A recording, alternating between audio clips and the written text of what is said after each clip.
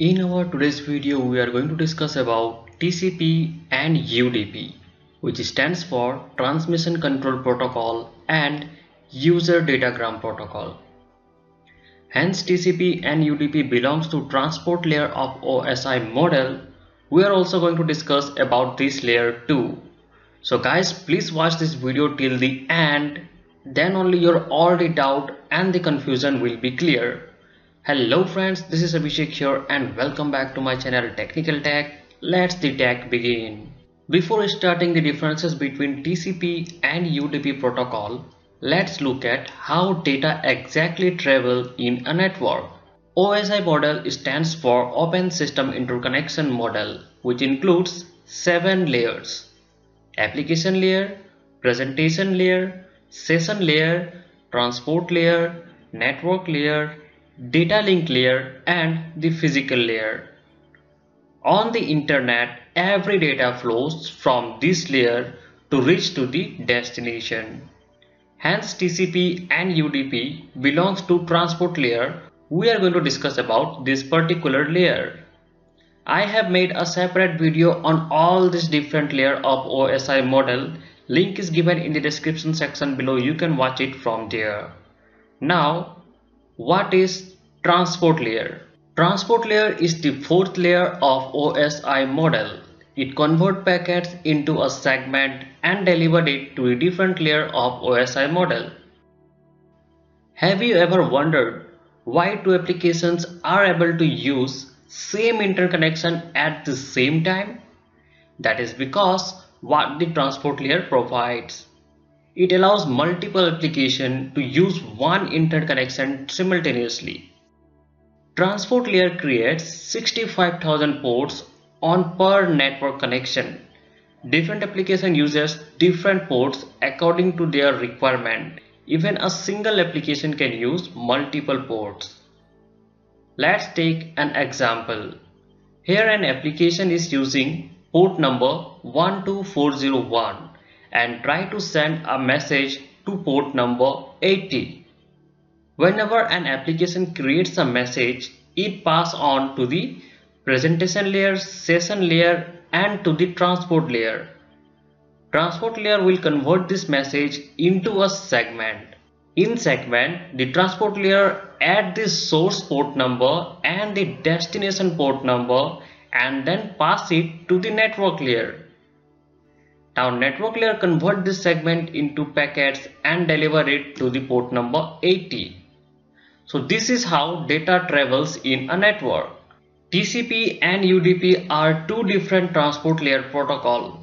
Here are the features and the differences between TCP and UDP. TCP stands for Transmission Control Protocol. On the other hand, UDP stands for User Datagram Protocol. TCP is connection oriented protocol. As for example, you might have noticed in a most popular application WhatsApp, whenever you send a message to the user, once it successfully get delivered, you will get a double tick sign, am I right? Which indicates that the message has been successfully reached to the destination. This is what TCP protocol does.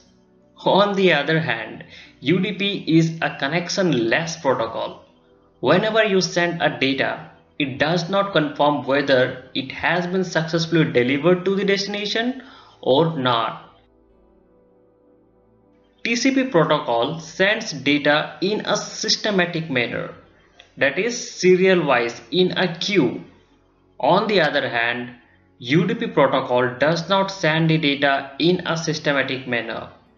As for example, while browsing internet you might have noticed the web page loads in a systematic manner how it is designed. This is because of TCP protocol.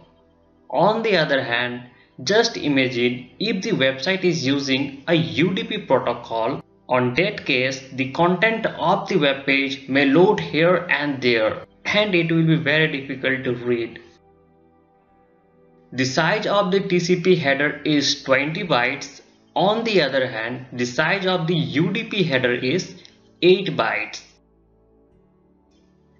TCP do error checking and error recovery. Whenever data is sent using a TCP protocol, this protocol is going to do a error checking.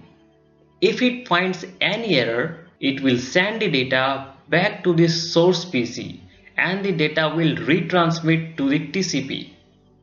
Once everything is alright, TCP protocol pass this data to the destination. On the other hand, UDP protocol does error checking, but there is no option for error recovery.